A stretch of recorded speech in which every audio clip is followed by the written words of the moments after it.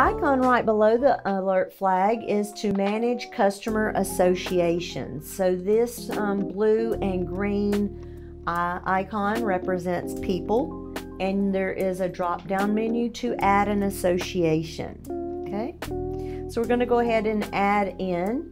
We can add from our existing customers, which will display here, those individuals with the same last name. Well, the co-customer does not have to have uh, the same last name. So for instance, if the last name of that person is Armstrong and then you can search, it may be one of these individual again that exists in our current database. If not, if they are a new person, then we would click on new and then add in their name. And let's go ahead and say that um, Mr. Brown's wife is Susan. And then we can just do a quick entry and save it that way. Or if you would like to do more information, you can click on the pencil icon where we can now add more details. Okay, again at the top you've got legal, personal, company, and all the rest of the fields are the same. I'm not going to go over those again, but I do want to point out the green square with the white arrow. So if Susan's phone number is the same as Robert, her husband, you can click on that green box with the white arrow and it'll automatically fill in the phone number that you put for Robert. And she might have a different cell phone number so you can just manually type in whatever is necessary. Again, nothing is bolded on this form, so you can add in as much or as little details as uh, you would like. Same thing with the home address. You have this green box with the white arrow.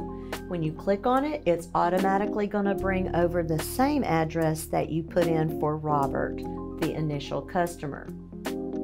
And then if I were to go over to the shipping address, we did use that same address for Robert, so it's automatically showing for Susan. I'm going to go ahead and jump and click OK here. We now see Susan, her home, and her mobile number. I'm going to click Save and close this window. And now I'm back on Robert, my initial customer that I entered. Now let's take just another look at that icon. Now I can click on the down drop menu. I can view and edit Susan. Yes, you want to save it and make any changes as necessary. You can also click there and remove her if you ever needed to. I'm going to go ahead and click Save. And at this time, please notice in the upper right hand corner, there's some information that's automatically populated for us. We have the customer's time zone. So we are showing that the customer is in central time zone, today's date and time. The last activity when I made an entry and saved it, the date and time. And then the first seen, when I come out of this particular customer window, the first seen will automatically update with today's date. That is the day that you entered the customer. So if I go back into this same customer tomorrow, the first seen date will always be the date when you initially entered the customer into Everlogic. So I would see today's date if I were to go in tomorrow to look at this customer record.